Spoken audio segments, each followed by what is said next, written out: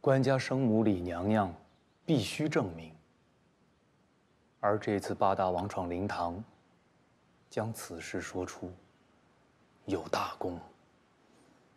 八大王指责吕相、王相与臣畏惧太后权势，未能将实情告知官家，也非诬陷的。太后证明，八大王有功该赏，有过之人便该罚。朝堂、天下都在看着。该罚？罚谁？所有在这些年中隐瞒了此事的人。那最该罚的是臣。最该罚的是臣。臣与王相公、吕相公不同。自从官家到东宫起，臣便是伴读，陪伴官家左右。对官家本该无所保留，隐瞒官家，臣该得重罚。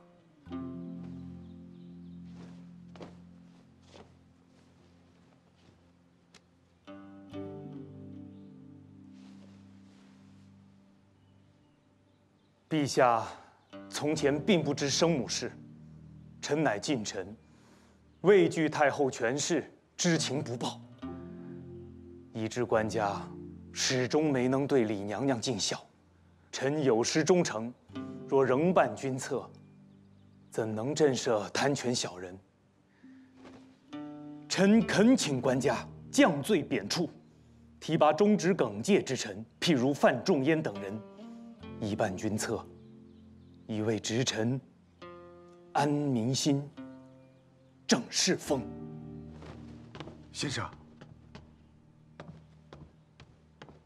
天下人皆知，官家不知生母事，未能尽孝，乃因近臣怯懦，不敢明言而至。不罚不忠之臣，何以为之臣安民心、正世风？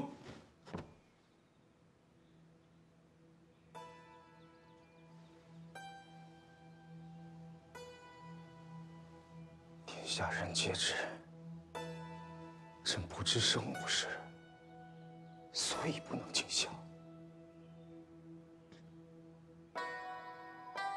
天下人皆知，朕不知生母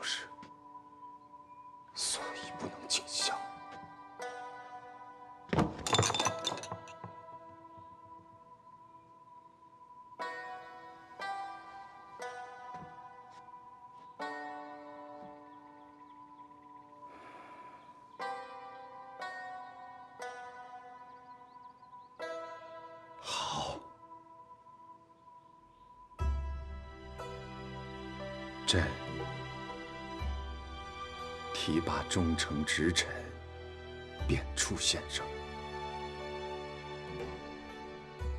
一位直臣正侍奉，安民心。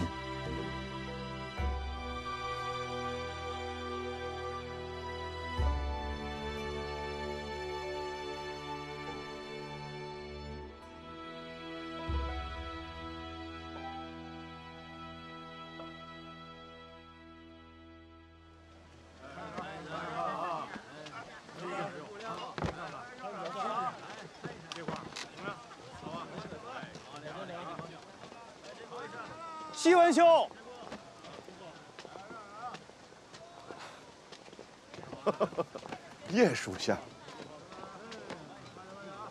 你怎着知道我搭这条船呢？啊？你既来信说 嫂子侄儿暂不随行，我又知道恰有这趟货船每十几日便来往一次，掐指一算，就知道你这老抠必定要蹭这趟船省盘缠。先生并不吝啬，四州一学的民钱都能包几条私船了。叶属下这是开玩笑呢。我是忧心官家的名声啊。若旁人知道和这米盐茶砖挤在一仓中的老抠，是官家钦点入京任职的范仲淹，难道不会怀疑官家克扣俸钱盘缠，让右司谏顾不起船呢？官家自不会克扣。然而我此番被召入京，我恐怕来不及领右司谏的俸禄，就又被贬到偏远之地了，自当多留盘缠。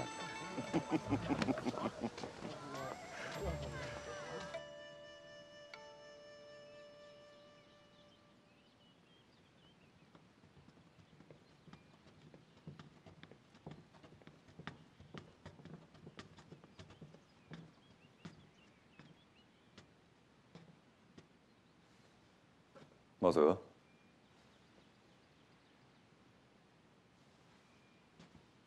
范仲淹人还未到京，札子先到了。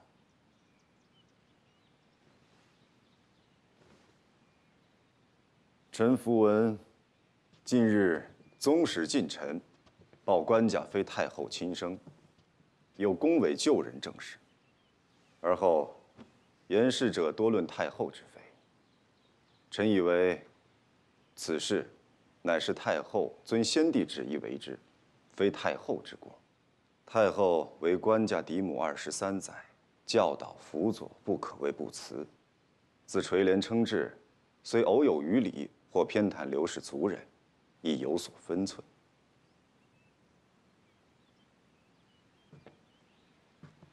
当年，众臣皆畏惧太后，冲撞太后的是他范仲淹。如今，言官纷纷上奏，弹劾太后的为政过失，死命维护太后的还是他范仲淹。晏先生说他是忠诚直臣，倒真没说错。如今，外面有关官家身世的流言，确实很多。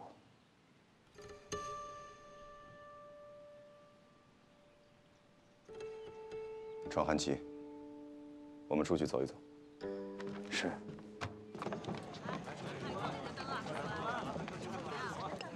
这没过几年，国王驾崩，王后垂帘听政。小国王是聪明仁慈啊，待稍稍的。说书人常常将国朝故事胡乱改个三五分，再胡诌个地名，真真假假的编下去，只好放权。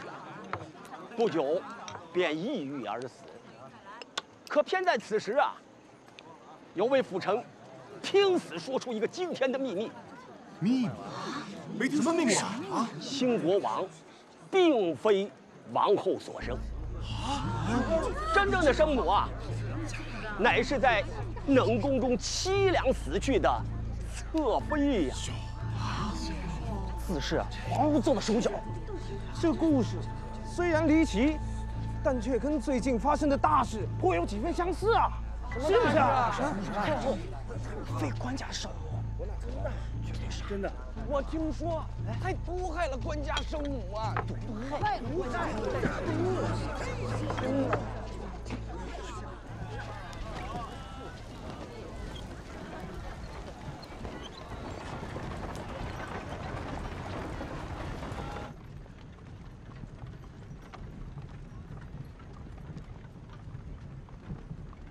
官家，臣万死。臣想讲几句不当讲的。不当讲便不要讲。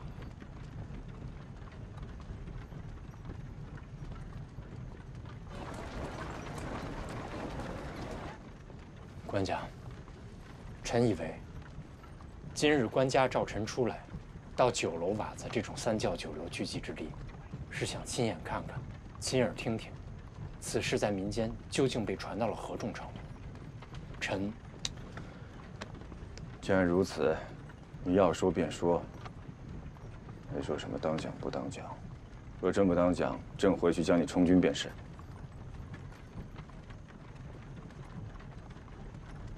官家，当年是先帝将刚出生的官家归于太后，使内外皆以太后为生母。先帝必有先帝的考量，太后也是遵旨而行。而如今，谣言四起，越传越是离奇。若百姓信李娘娘是因此被太后陷害毒杀，那等于说先帝昏庸，不识人，不明是非，有伤先帝圣明。而如今，八大王大闹灵堂之后，越来越多的官员纷纷上书弹劾太后的德行、才能，进而诋毁太后临朝称制时的政策法令。而那些出自太后的诏令，如今已成了四海法度。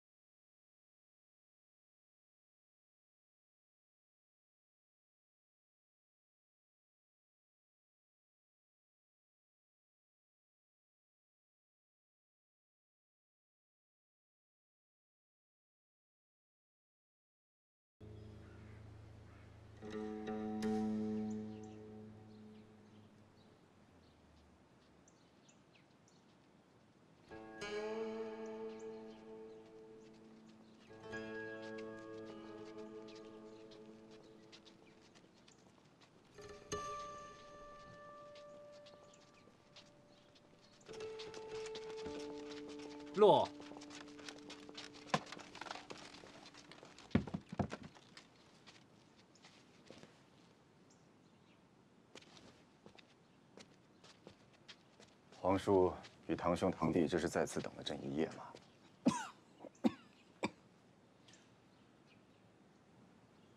臣是等了官家一夜，臣只想问官家一句：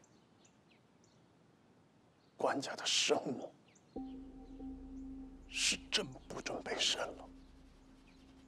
官家被蒙蔽多年，是要继续当自己是刘娥亲生的吗？那官家的生母惨死，死后匆匆下葬，官家连成娘都没叫，就要放过毒害他之人，滔天的罪都不追究了吗？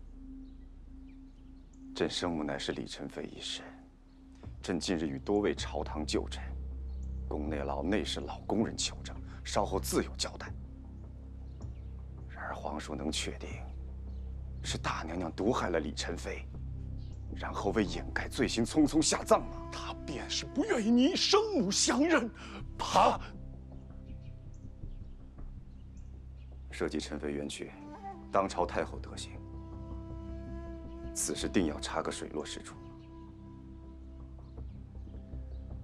若罪恶滔天，自必严惩。殿前司，立即带兵围刘府，任何人不得出入。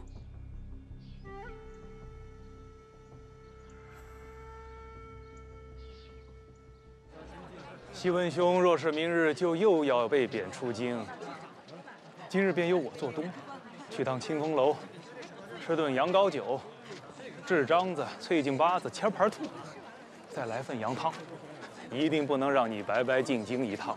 我怎么听说，八大王公然骂你是奸贼，咬定你是隐瞒官家身世的首恶？朝堂风云变幻，谁说得清啊？更要趁着还在这繁华之地，该听的曲听了，该饮的酒饮了。执行公务，全家人都快看！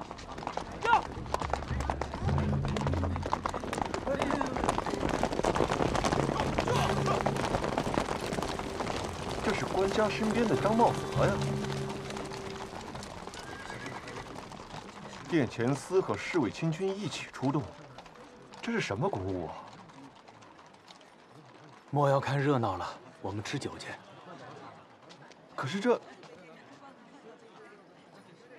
官家难道是真的信了谣言？无论发生什么事儿，也要等到明日上朝再说。今日咱先得把清风楼新出的菜式一一尝了。走走走走。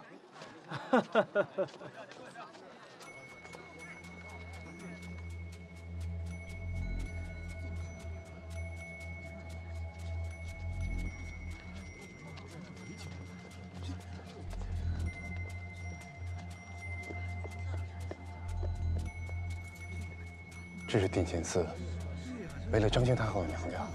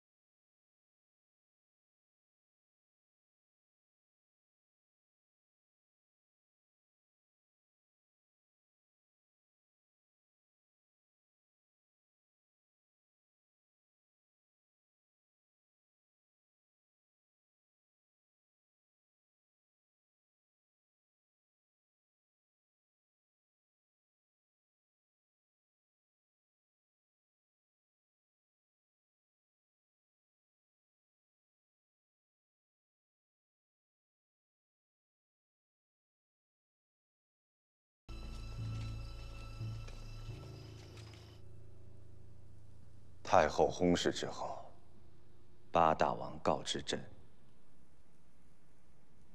先帝陈妃李氏，方为朕生母。亦得旧时近臣公平正事，朕不胜伤痛，自愧未尽人子之礼。而数日之后，宫禁之内，群臣之间。竟流传朕生母李氏死于非命，丧不成礼。朕昨夜就朝野民间所谓毒害之传言，询问于翰林医官院，是否可由验看的方法。卿言需开棺验看遗体。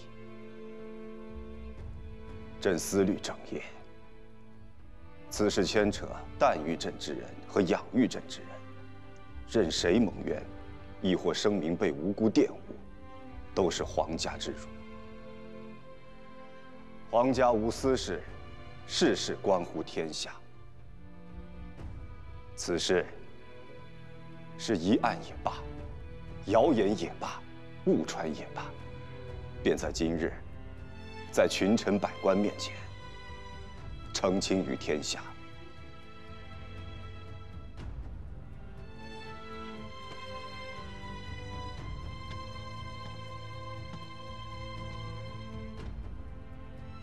翰林医官院赵掌院已率五名医官候于洪福院，便请众卿随朕前往，请出母亲遗体，当场验看。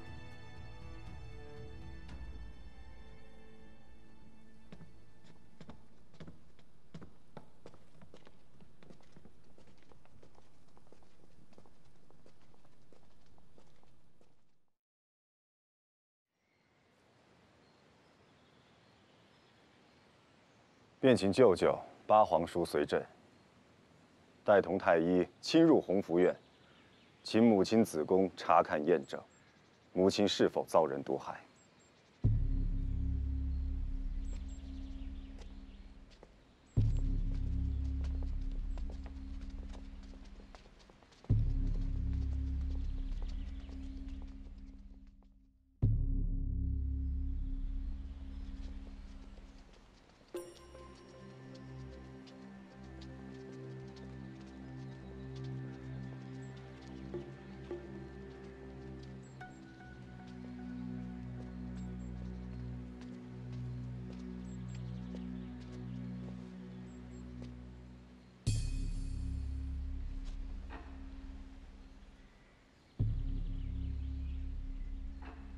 舅舅，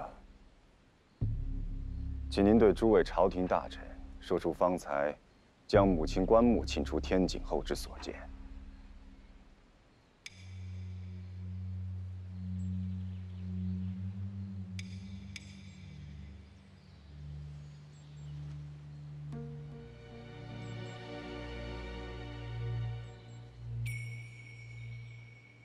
方才在殿内开棺验看，只见只见姐姐身着皇太后服饰，容颜竟然如生。太医说，这是以水银养护的结果。姐姐的身后事，绝无敷衍草率。我等昨夜一同验看了李娘娘此次病发前后的记录，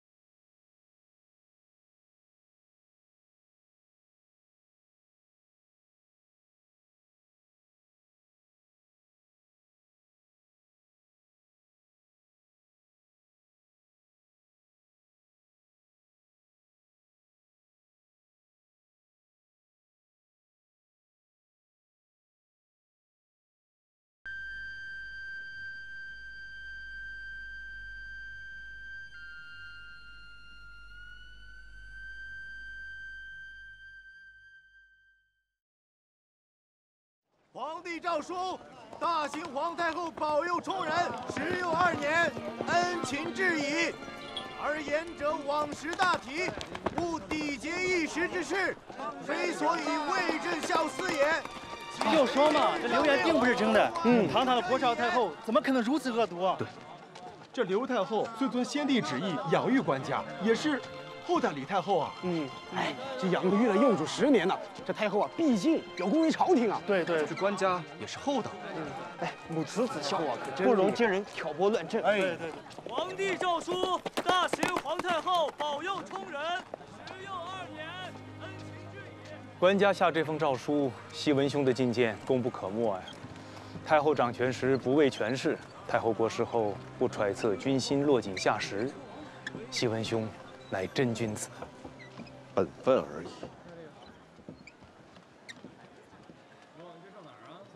却未想到，竟是范某送童书出京。正是刘忠去奸，陛下英明。范某又不是呆子，太后之事，无论是当年还是现在，你都是为了顾全大局。陛下的生母李太后得回了应有的名分，两后并立，得伴先帝左右。陛下之心也可稍慰。陛下幼年登基，至今日，终于亲揽朝政，才艺侥幸。如今，朝堂有忠直之臣如西文、于安道，又有永叔、智圭、君谟，才子能人云集，君臣一心，定能给天下百姓一繁荣盛世。叔与兄就此别过。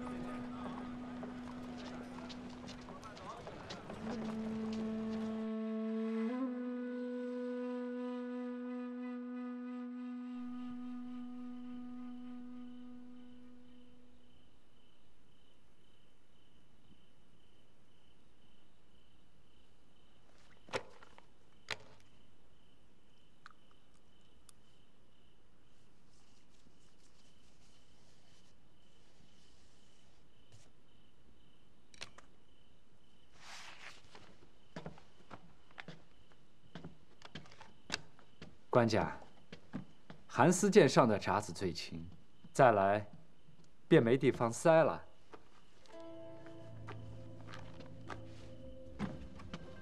志归走遍东京酒楼食肆、点心铺子、果品摊子，一份奏章比一份肯定，李方之界限该打破。打破之后，不但方便百姓，更可促百业繁盛，增国库税收。科举、茶税、礼方、西江，每一件，朕都会办到。朕有信心，朕有耐心。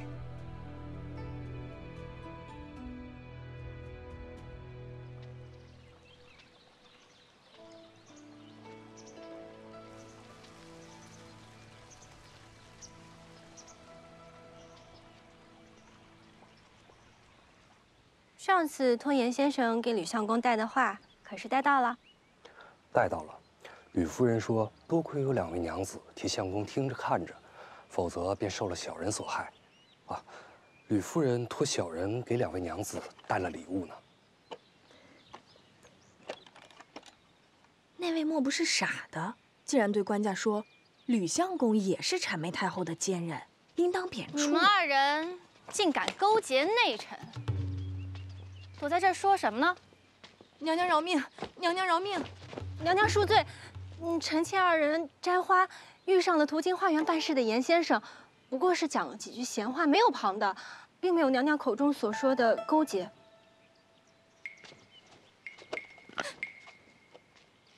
这是什么呀？这可不是宫里的东西。早听说你与外臣走动的勤。果真如此啊！这外臣的礼都送到这宫里来了。原来是吕家啊！怪不得，他从前就最会谄媚太后，而今太后驾鹤，他又摇身一变，成了中军之臣。定是从你这儿得了不少消息，才能在官家面前装。还有你们二人。在官家面前装的是一个温柔乖巧，竟敢私下联络外臣，侮辱于我，怪不得最近有那么多弹劾我的札子，定是因为你们。娘娘，娘娘饶命！娘娘饶命啊！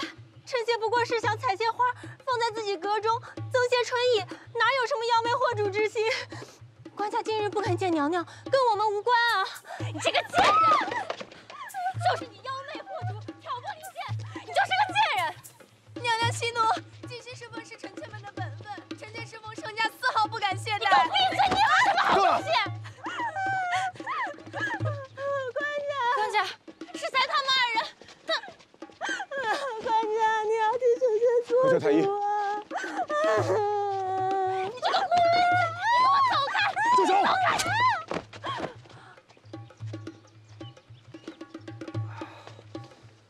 家，不是臣妾，是这个戒指。哎呀，快传太医，快传太医！快传太医，快去叫太医！官家被皇后打伤了。别叫了，朕无碍。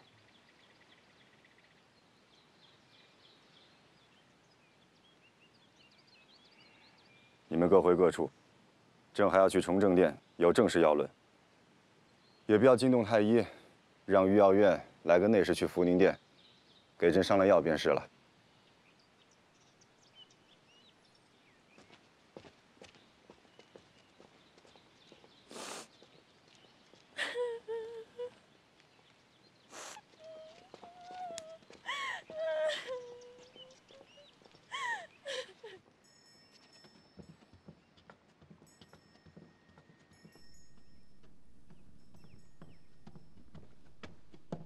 吕相公，燕副都知要小人来跟吕相公说，官家可能稍晚些过来，请相公稍等一阵。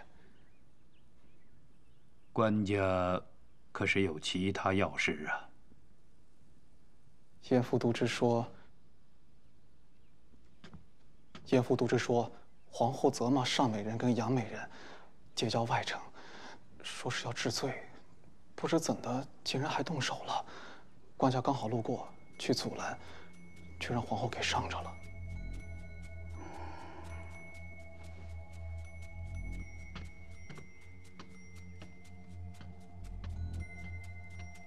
联络外臣。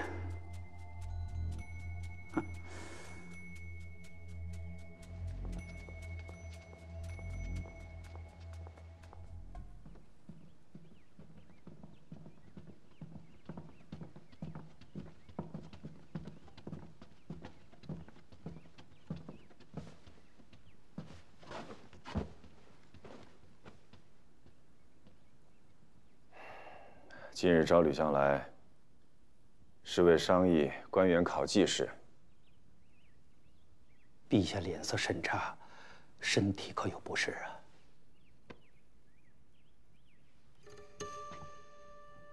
哎呦，这陛下竟不怎么受了伤。恕臣多言啊，是不是刚才跟几个侍卫内臣比划练剑？哎呀，这哪个不长心的呀？如此没有轻重，竟然伤到了陛下。这万一有个好歹，该如何交代啊？陛下，你平日对他们再好，这时候也不应该包庇他们了。是谁呀？不干内臣侍卫的事，是皇后。皇后？啊，这这老臣偶然也听到皇后蛮横急躁。但没想到能殴伤陛下，失德之次实在不配为重公啊！皇后与上阳两位美人发生了冲突，皇后年纪小，压不住两位美人，竟动起手来。朕过去挡，她也并非故意伤朕。陛下，这……皇后刚入宫的时候年纪尚小，不懂宫规法度，但如今做皇后数年了，却因为嫉妒和低位嫔妃发生冲突，见陛下来了还不收手，竟然伤了陛下。还有，陛下大婚这么多年还无子嗣，还不是因为他善妒凶横所致吗？臣。深知陛下仁厚。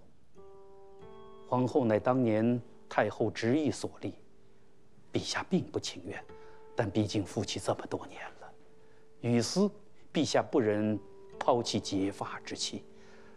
然而于公呢？皇后乃天下万千女子为人妻之榜样，如果德不配位，怎能武夷天下？陛下不忍伤有过之人，但要。天下所有女子以失德之人为榜样吧，陛下。孰重孰轻，请三思。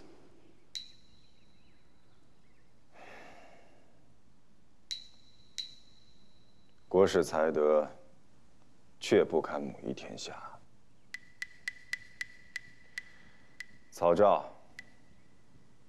郭氏入宫九年无子，愿入道。特封为静妃，御经冲妙仙师，赐名清雾，别居长宁宫。陛下因为皇后多年无子，起义废后，臣等以为不妥。吕相为何斥有司不受台谏章书？皇后并无大过，不可废。官家应早悉此意，不可使闻于外。请吕相受台谏奏书，上呈官家。帝后犹如人臣之父母，父母不和，人子难道不该劝谏调和？父要休母，人子岂能不劝呢？自古废后皆是昏君所为呀！先朝自有明君废后之先例嘛。吕相公是指汉光武帝废后吗？汉光武帝是明君，然废后一事，乃光武失德，何足效法？而其余废后之事，皆前世昏君所为。陛下有尧舜之仁厚，吕相公却要让陛下效法昏君所为吗？此事陛下心意甚坚。此时又值陛下盛怒，我吕某也不敢冲撞陛下。如果诸位定要劝谏，那就请陛下赐对嘛，向陛下当面力陈废后之不可行嘛。好。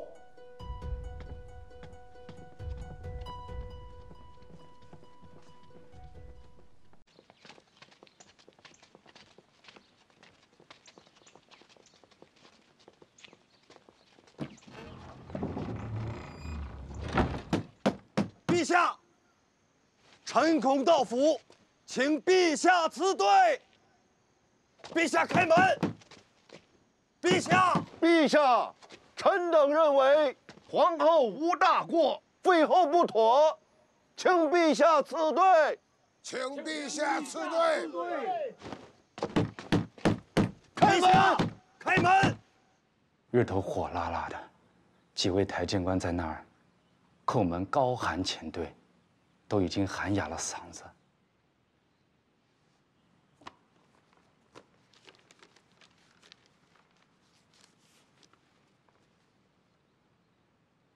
台谏福阁请对，实非太平美事。范仲淹、孔道辅等屡次出言犯上，如今更大失体统，丢国朝颜面，不堪为朝廷重臣。请逐范仲淹、孔道辅出京。这吕夷简的札子。可是，他记恨郭氏说吕夷简亦奸邪，先归附太后，后谄媚官家，定要报复。说出口的，却全是家国天下的大道理，不受台谏章书。一边所愿草诏废后，一边让他们在日头底下叩殿门失体面，再以此为罪，这是把台谏当傻子耍，将朕当孩子哄。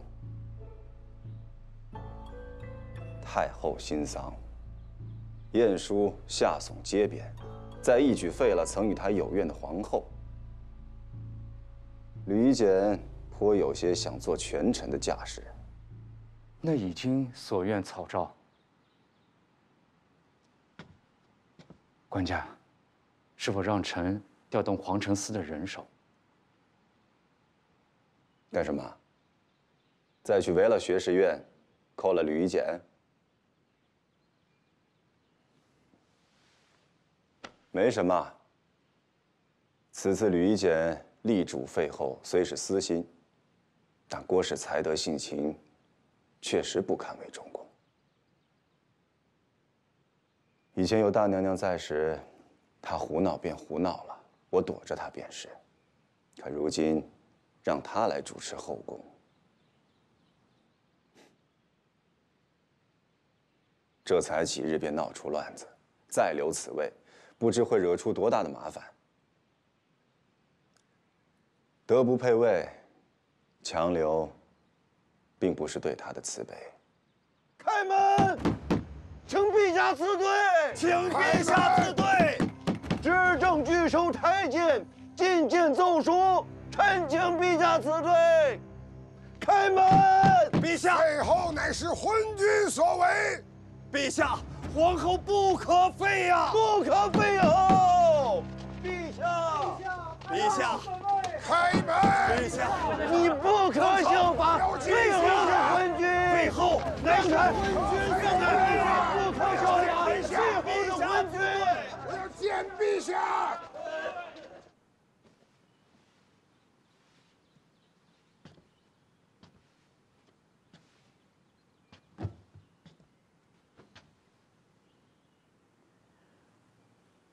范仲淹、孔道夫等人偏执，臣数度遣人劝他们离开，但他们坚持免军。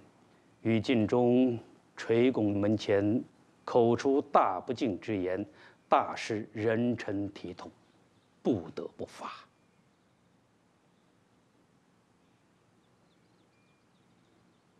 陛下，如果范仲淹等人得不到惩罚，大臣们都看着呢。他们以忠直之名胁迫君上的口子一开，好。吕相说的有道理，但还有一件事，李迪他们说的也有道理。说到失仪、上阳两人过错更大，以色诱君，以宠而犯中宫，结交外臣。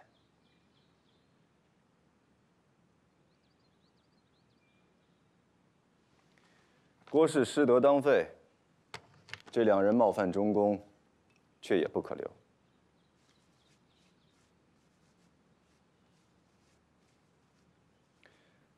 三人一起出宫，但是吃穿用度上，茂泽，你照看一下，不可怠慢了。是。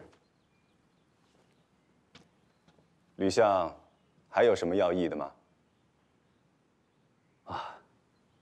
臣告退了。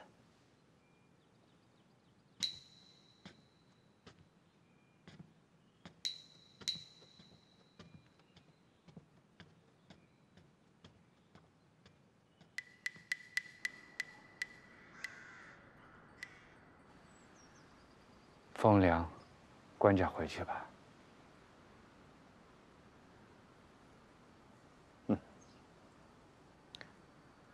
朕不能再让德不配位的郭氏主持后宫。吕夷简想要立威揽朝政，范仲淹立志要做无暇君子。这一番折腾，终究谁输谁赢。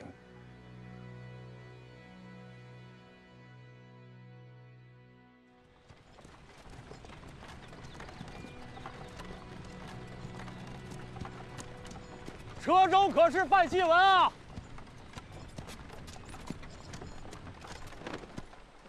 可是葛兄啊！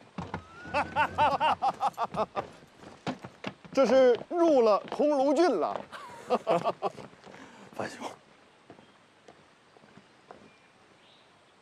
得到西文贬至睦州的消息，又是替西文抱不平，又为老友相见而兴奋，早就备好酒，算着日子来迎啊！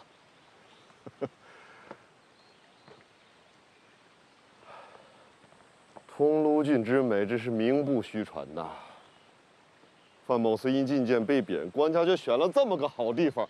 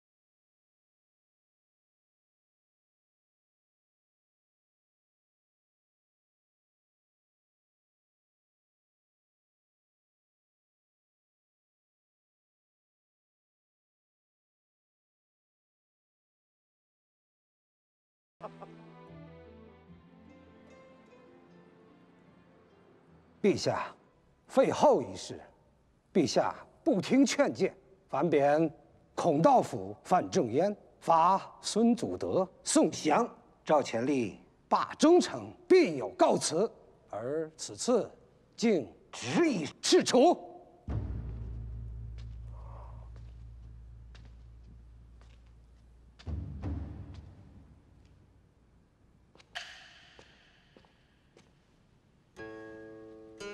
臣以为，太平之时，谏官御史，符格胁迫君上，不合臣意，论罪罢黜最恰当不过。且不若自今日起，凡台谏之议，须密奏章书，不得相率请对。荒谬！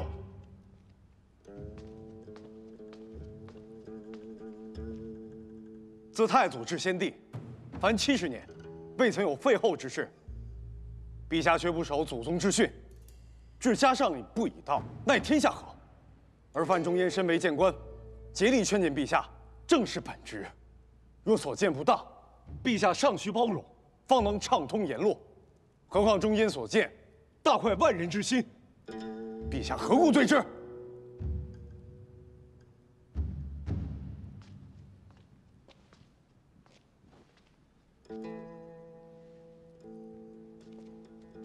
国士德不配位，既已废黜，中宫不可久虚。众卿可曾替朕考量过中宫人选呢？官家英明，如今选立贤后，统领后宫，方为正道。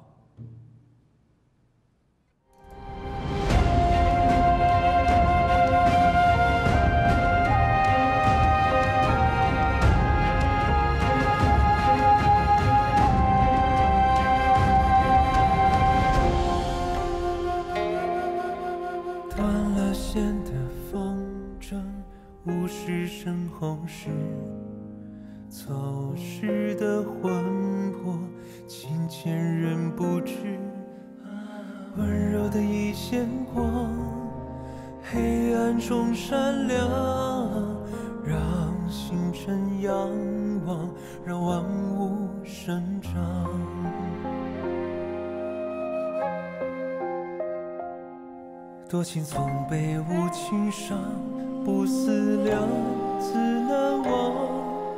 早生华发，笑我无言吐悲伤。多情总被无情伤，情深